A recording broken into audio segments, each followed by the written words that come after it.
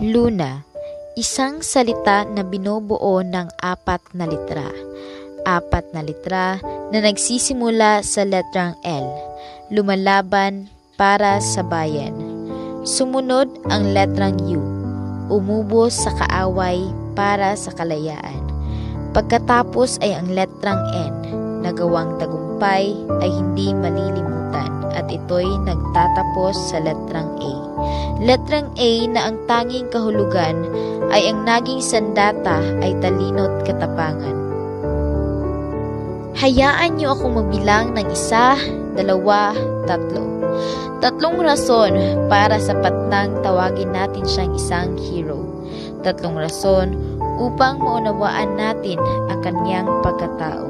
Rason na kung saan mapupukaw ang bawat Pilipino.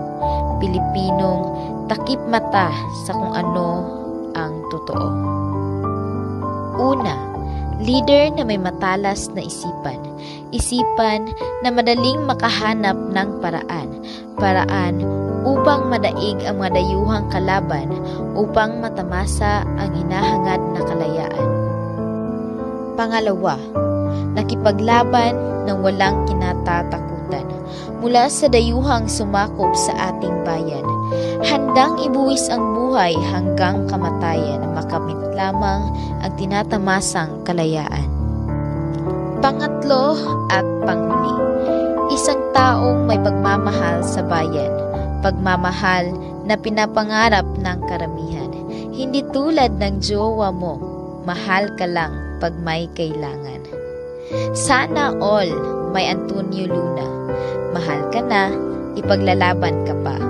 Di tulad ng relasyon yung pinagtagpo lang pero hindi tinadhana.